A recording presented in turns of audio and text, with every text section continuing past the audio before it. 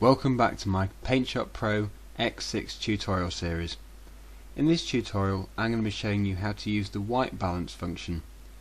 So first of all open up an image of your choice which you want to do a white balance on. So once you've opened up your image you'll see on the left hand side it says white balance. You need to left click on that and then you'll see that it's open this selection area here.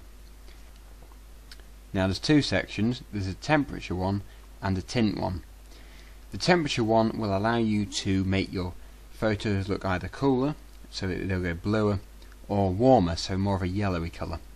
The tint allows you to put either a greenier or a more purple effect on your photos. So I'm just going to demonstrate the temperature one here. If I drag this slider to the left, you'll see that it's going to make the photo look a lot colder, so it's going to add more of a blue, more of a wintry feel to the photo. So if I just drag it there, you can see that everything, including the foreground, has gone much cooler, more washed out colours if you like. So if I drag it to the right again, and then into the warmer section, you can see it's a lot warmer. It's more, more of a summery kind of photo. So you're going to have to suit the temperature with your photo and what it is.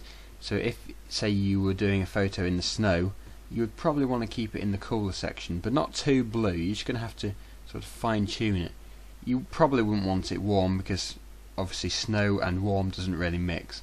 So what you'll have to do is just play around on here and get pretty much the right colour for your the topic of your photo.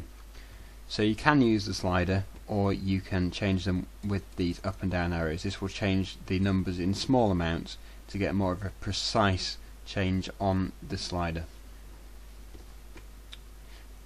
So I'll just put that back to 5000 which is in the middle and then we're going to have a look at the tint function. So if we slide it to the left you'll see that it adds more of a green um, again a bit of a colder feel to the photo and if I slide it to the right it's adding more of a purple which again is more of a warmer feel. So like I said, you need to just play around and make the colour of the photo fit the topic of the photo. So hopefully this video has helped. Please stay tuned for more videos like this in the future.